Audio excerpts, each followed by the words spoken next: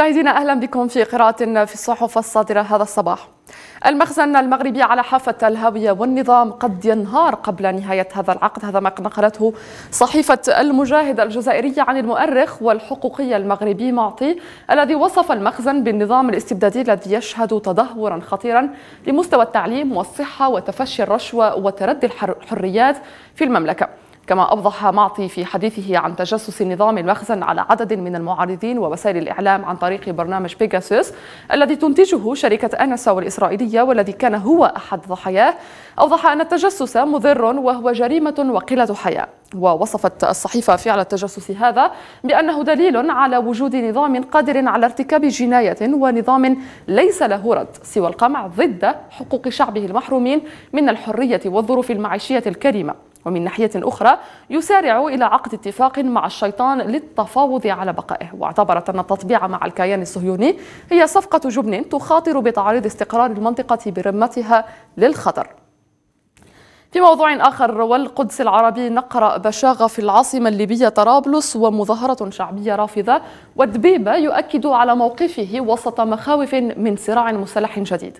حيث تتصاعد ردود الفعل منذ تعيين البرلمان الليبي لرئيس حكومة جديد من الغرب الليبي وسط مباركة وتأييد من حفتر وردود فعل تنوعت بين شعبية ودولية ومحلية.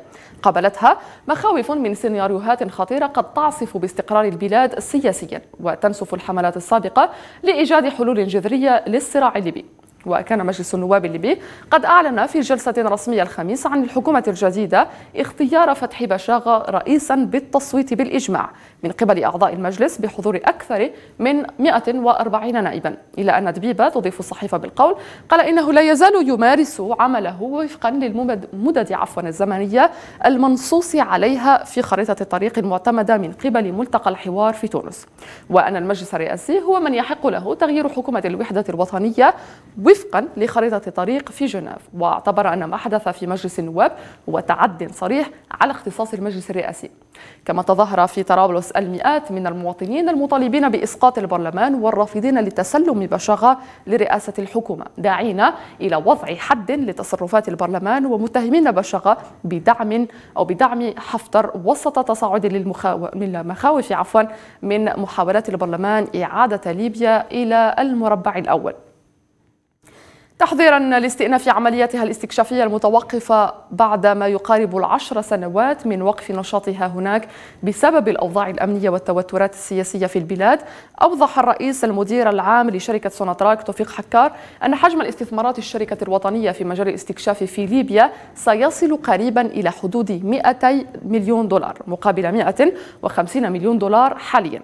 صحيفة المساء كتبت أن سوناتراك متمسكة بعقودها في ليبيا والتي من خلالها تبحث على استكمال التزاماتها التعاقدية وكذلك بحث سبل تطوير الحقول المكتشفة في القريب العاجل. وأضافت الصحيفة أن الطرف الليبي قد أكد على أهمية الإسراع في مواصلة مجمع سوناتراك استئناف نشاطه في ليبيا لعملية استغلال أو استغلال حقوله الاستكشافية خاصة في الجهة الغربية للبلاد معتبرا أن الشركتين الجزائرية والليبية بإمكانهما لعب دور فعال في استقرار السوق الدولية للغاز. أعادت الأزمة الأوكرانية الأخيرة الحديث عن حرب باردة جديدة. صحيفة الأخبار خصصت ملفا كاملا للحديث عن الموضوع وأوردت أن الإعلان الصيني الروسي المشترك الأخير ليس حدثا عاديا فهو خلافا لما سبقه من إعلانات مشتركة يعادل الوقوف صفا واحدا في مواجهة الولايات المتحدة والغرب أيديولوجيا وعسكريا. وفق ما تقر به الأوساط الغربية نفسها التي ما زالت تخيم عليها حالة من الذهول إثر هذا الإعلان المشترك الذي يمثل إشكالية رئيسة بالنسبة للولايات المتحدة. حيث أن هذا الزلزال الجيوسياسي بحسب الصحيفة يقع في ظل انحسار تدريجي لهيمنتها. وتعتبر الصحيفة أنه وإذا كان متوقعا في ظل هذا الوضع أن تعمد واشنطن إلى محاولة بناء تحالف أوسع في مواجهة موسكو وبكين إلى أن الأخيرتين باتت بحوزتهما أدوات مواجهة تخولهما جني المزيد من المكاسب السياسية والاقتصادية والاستراتيجية. خصوصا في ظل الانحسار التدريجي لهيمنة أمريكا على بقاع كانت تصنفها كمنطقة مصالح وطنية حيوية. أما صحيفة الشرق الأوسط فقد كتبت فيما يخيم شبح الحرب على أوروبا يواصل قادة القارة الأوروبية جهودهم الدبلوماسية. وحتى الآن فشلت محادثات كثيفة في الأيام الأخيرة في إحراز تقدم نحو حل للأزمة الأوكرانية التي يصفها الغربيون بأنها الأخطر منذ نهاية الحرب الباردة قبل ثلاثة عقود. ووصلت الجهود الدبلوماسية الأوروبية إلى طريق مسدود بينما يعد التقدم في هذا الملف حيويا لنزع فتيل الأزمة الروسية الغربية التي قد تستحيل حربا.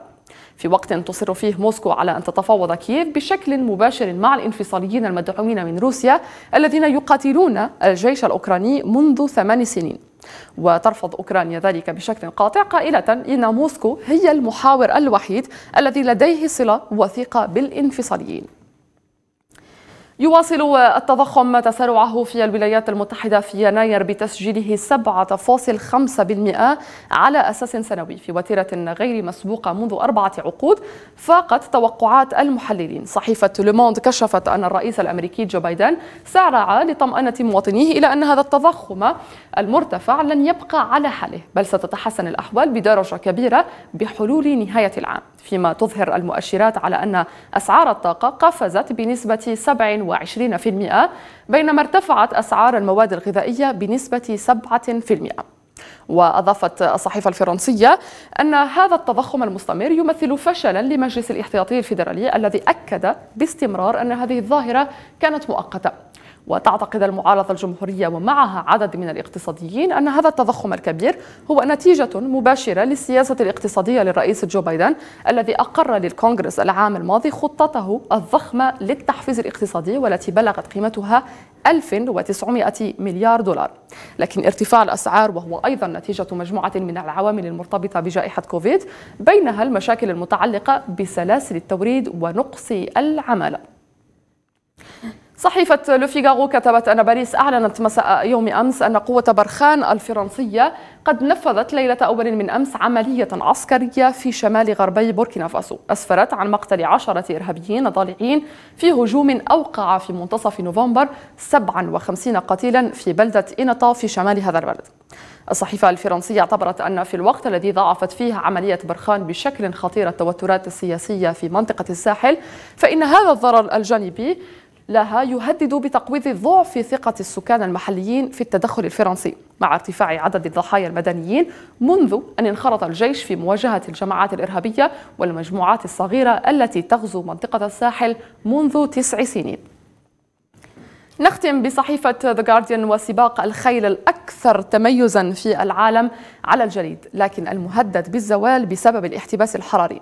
هذا الحدث الفريد من نوعه في العالم الذي يقام على بحيرة متجمدة والذي يقع على مساحة شاسعة من المياه تحت المنتجع السويسري وايت تيرف مباشرة مهدد بسبب ارتفاع درجة حرارة الأرض وإمكانية ذوبان البحيرة.